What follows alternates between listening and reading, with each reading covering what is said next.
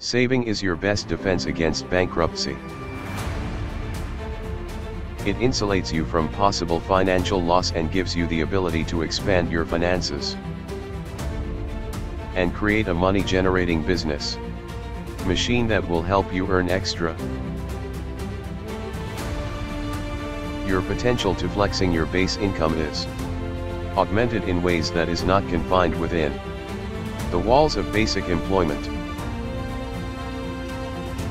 You can start up your own business. Use it for loan purposes. And earn interest on them while being used. Among others. But the basics of it all lies in saving, spending. Less than what you earn. And keep something enough for future. Use and for unforeseen circumstances. This article provides you with ways on how you can effectively maximize your financial resources. Thanks for watching my video. Please subscribe.